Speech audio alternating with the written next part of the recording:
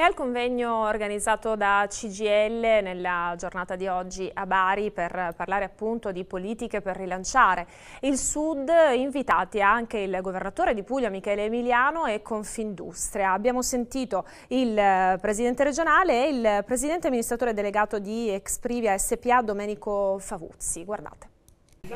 CGL non lascia ma raddoppia. Accanto ai temi caldi che attraversano la trattativa ILVA in questi giorni, il Sindacato Nazionale dei Lavoratori Italiani apre uno spazio alla riflessione sulle opportunità per la rinascita economica del sud del Paese.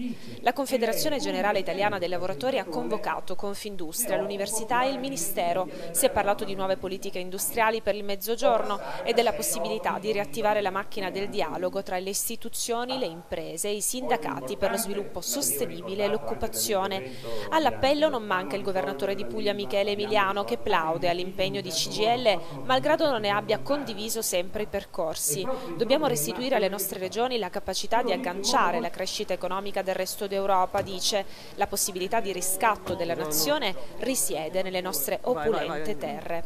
Io ho chiesto al Ministro Lezzi di farci realizzare questo antico sogno che i governi precedenti hanno sempre impedito diciamo così, ostacolando il coordinamento delle regioni del Mezzogiorno. La CGL in questi anni si è sforzata, eh, assieme a, anche agli altri sindacati, per sostenere questo nostro sforzo di collaborazione tra governo e regioni Domenico Favuzzi, presidente e amministratore delegato di Exprivia SPA, una delle più importanti società per azioni del Mezzogiorno, si concentra su un aspetto fondamentale del mancato riscatto della nostra regione, la migrazione delle nostre eccellenze all'estero. C'è un'emorragia di cervelli che scappano via ma non tornano a casa.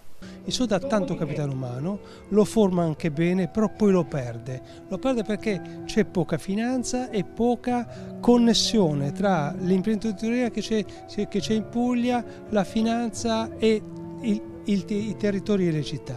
C'è dunque la necessità di investire nelle nostre regioni controllando le dispersioni e la corruzione. Persistono ancora molti interrogativi.